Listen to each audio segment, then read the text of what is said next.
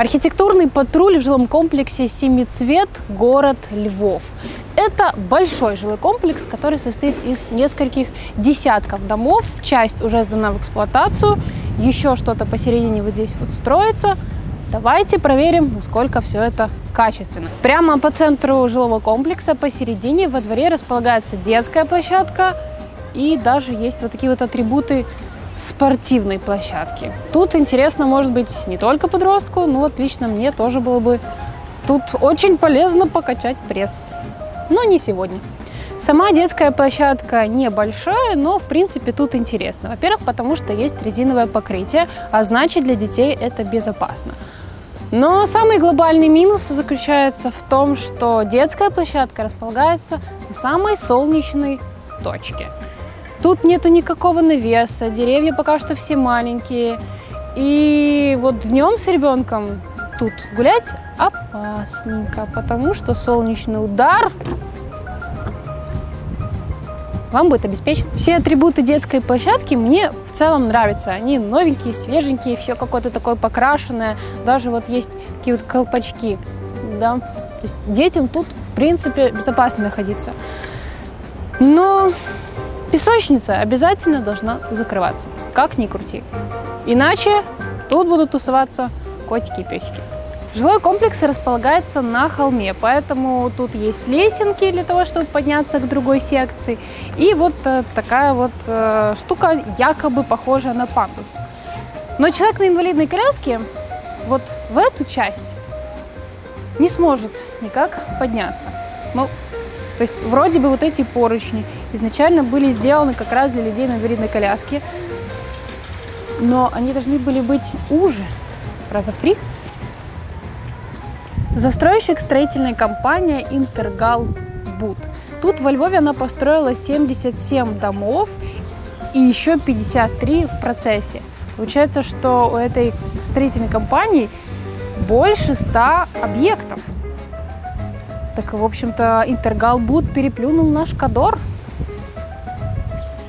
Судя по этой стеночке, я понимаю, что строительная компания, вероятно, изобразила здесь свои объекты, свои новострои. Э, ребятоньки, надо вам задуматься о том, что вы делаете.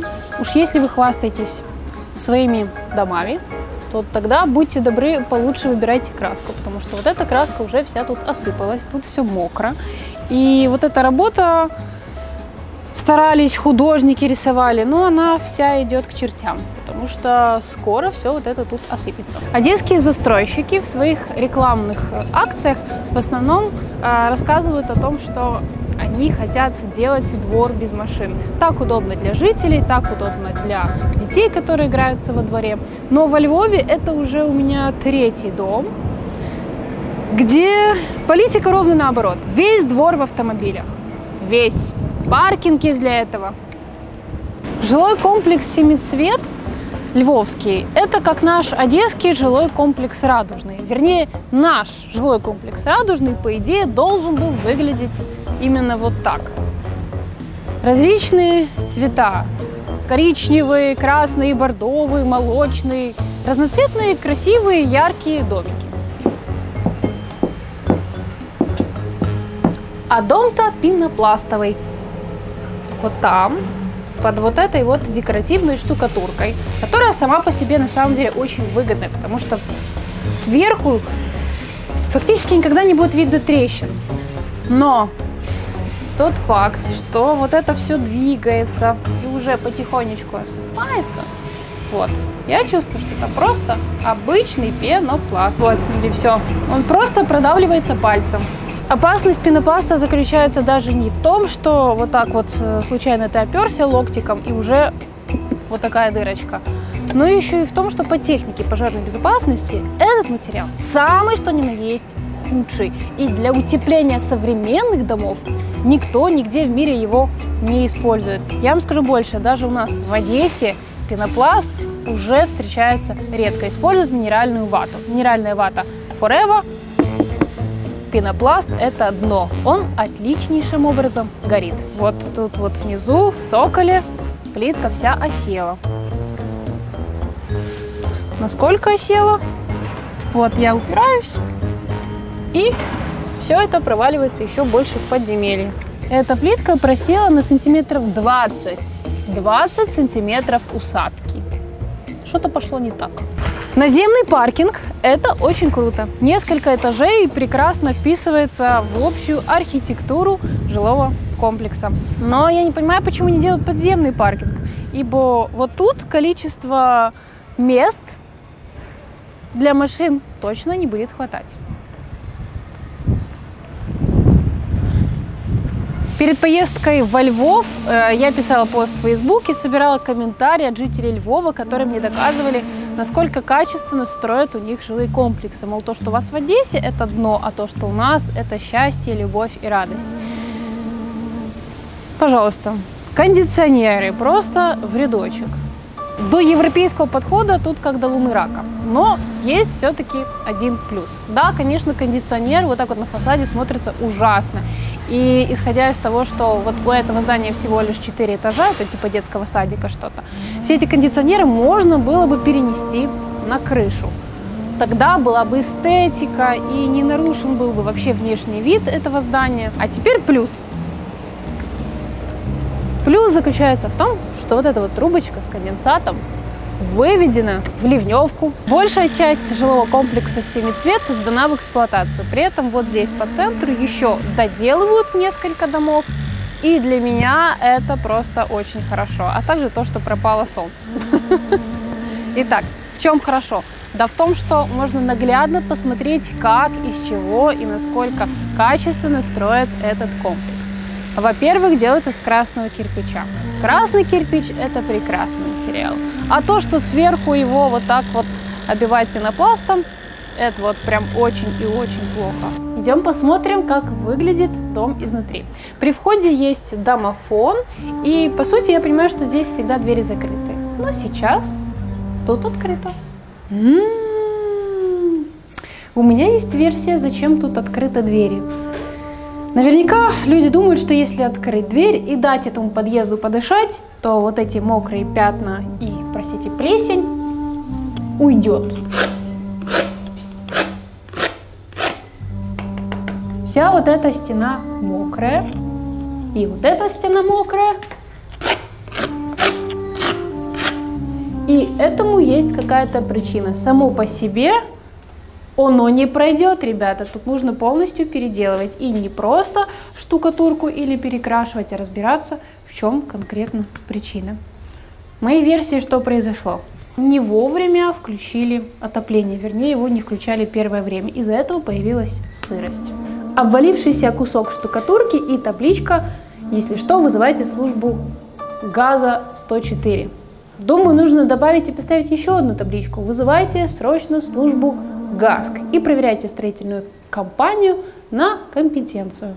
Вот такой вот кусок штукатурки не обваливается просто так, это не случайно и не задели во время ремонта. Все вот это сейчас не проканает. Самое глупое, что я встречаю в работе строительных компаний, это трещины на колоннах. То есть такие трещины, которые в принципе вообще не должны быть. Это банальная Технология. Технология, которая нарушена. Не постелили сетку, э, неправильную краску подобрали. Из этого появляются трещины. Они тут есть, их уже много, и это только первый этаж. Если мы поднимемся выше, там трещины будут еще больше. Что может быть глупее? Что? Реально, это очень просто. Постелить сетку, и все, хорошую сетку, сверху штукатурка и краска. Чем дело? Я не могу понять почему, но на первом этаже, когда вы заходите, самая дешевая плитка, отвратительный вход, грибок, плесень, все для вас. Когда вы поднимаетесь на второй этаж, пожалуйста, украшения, семицвет, жилой комплекс, ну все прям так красиво, эстетично. На стенах плитка и на полу уже плиточка поинтереснее, чуть подороже. А вот с лифта вот эту пленку нужно снять. Дом сдан в эксплуатацию, а лифт по-прежнему обит вот этим дурацким грязным вонючим ТСП. Лифт, кстати, Отис, откровенно пишет, что сделан в Киеве. Я это слышу по ходу лифта, потому что он так немного дергается, слышны звуки, гудение. серьезное гудение. О, еще больше гудения. Ку-ку. Нету автоматики. Мне пришлось поездить по этажам. А, значит, изготовлен, может быть, лифт в Киеве по английским технологиям, но реально все вот это, это Малое Арнаутское. Только на первом этаже, который на самом деле второй, как-то красиво оформлен подъезд. На остальных этажах на полу самая дешевая плитка, пожалуйста. На лестнице, на лестничном марше плитки нет, сэкономили. На стенах декоративная штукатурка и только вот, вот здесь вот есть хоть какие-то отличительные черты от всех остальных подъездов.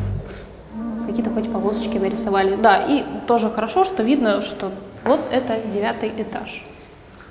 А вот по технике пожарной безопасности, что является самым главным для дома, нету ничего. Львовский жилой комплекс «Семицвет» для меня разочарование, причем глобальное. На картинке, когда я готовилась к этой съемке, я видела красивый цветной жилой комплекс. Когда сюда приехала, он действительно издалека смотрится красивым, очень удачно подобраны цвета фасада. Э, это дорогие цвета, это не просто какая-то дешевая краска. Нет, действительно все очень красивое. Но кроме вот этой краски, вот мне больше не за что этот новострой похвалить. Недостатков очень и очень много. И плесень в подъезде, отвалившийся огромный кусок штукатурки, трещины на колонне, э, дешевый лифт, все это говорит об уровне строительной компании, о низком уровне этой строительной компании, которая ну, фактически забила болт на профессиональное исполнение своих обязанностей. По инфраструктуре. Это огромный жилой комплекс. Здесь очень много домов. И при этом продуктового магазина я не встретила. Где-то там что-то, есть какой-то детский садик. И, в принципе, все. Ну, еще, по-моему, вот отсюда я вижу, э, есть э, спортивный клуб. Но это не инфраструктура, ребята. Далеко. До встречи. Хорошо, что никто не покалечен.